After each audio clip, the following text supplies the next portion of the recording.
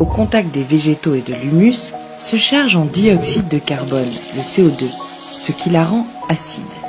En s'infiltrant dans le sol, cette eau va dissoudre le carbonate de calcium qui forme en grande partie la roche calcaire.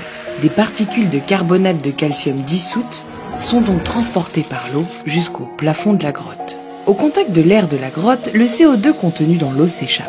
C'est le dégazage. Sans CO2, l'eau est moins acide et le carbonate de calcium dissous repasse à l'état solide et se dépose sur le plafond de la grotte. Au fur et à mesure que l'eau goutte du plafond, des petits anneaux de calcite s'accumulent et un canal se forme pour laisser passer l'eau. Une stalactite commence à prendre forme. Le problème, c'est que le canal finit par se boucher. L'eau s'échappe donc par les parois de la stalactite qui grossit en épaisseur. Mais attention, cela demande du temps, des milliers, voire des millions d'années. Et puis si la goutte d'eau qui tombe d'une stalactite contient encore du carbonate de calcium, elle peut former un nouveau dépôt en touchant le sol. C'est pour ça que sous une stalactite, dont la pointe tombe, on peut trouver une stalagmite qui monte. Si les deux se rejoignent, on appelle ça une colonne.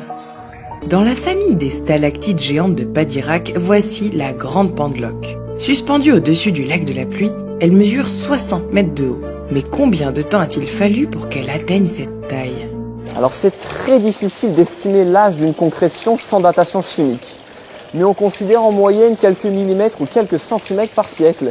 Donc on a devant les yeux plusieurs centaines de milliers d'années certainement d'accumulation de calcite. Attends, tu veux dire qu'elle grandit de seulement quelques millimètres par siècle? En règle générale, on peut considérer la taille d'un ongle tous les 100 ans.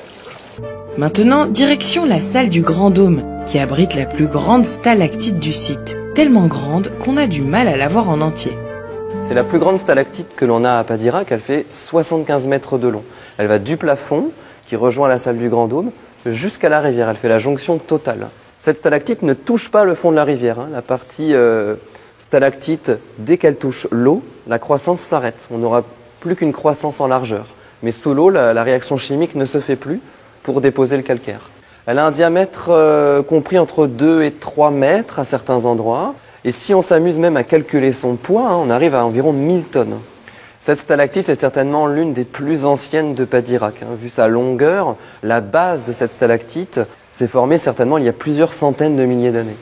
Plus loin, sur le lac suspendu, trône une étrange stalagmite en forme de pile d'assiettes. C'est vrai que ça y ressemble beaucoup. Et ce n'est pas tout à fait un hasard si elle se trouve ici. C'est une stalagmite typique des très hauts plafonds. Il faut que les plafonds dépassent plusieurs dizaines de mètres pour avoir cette forme. Imaginez la goutte d'eau hein, qui va prendre énormément de vitesse en tombant du plafond. Elle va venir s'éclater et disperser son calcaire plusieurs centimètres autour de l'impact. Là, on a vraiment des assiettes qui s'empilent les unes sur les autres grâce à la succession des impacts de gouttes d'eau. Si cette stalagmite est légèrement décalée, c'est que le sol en dessous de nous a légèrement bougé. Et donc il y a eu plusieurs phases de croissance. hein. Peut-être que cette partie-là a grandi euh, 5 ou 10 000 ans avant la partie suivante. Alors ça paraît très fragile, mais c'est très solide. hein. Ce sont des cristaux de calcite qui sont collés les uns à côté des autres. Et la structure est très très stable. hein. On pourrait euh, marcher dessus sans aucun problème.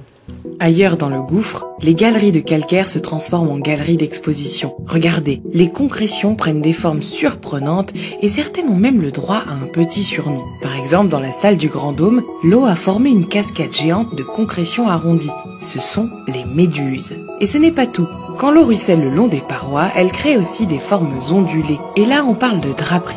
À leur extrémité, on voit même des petites pointes blanches. C'est le début d'une nouvelle génération de stalactites. Et il y a plein d'autres concrétions suivant leur forme. On les appelle des orgues, des cascades ou encore des choux-fleurs. Que l'imagination, ces géologues.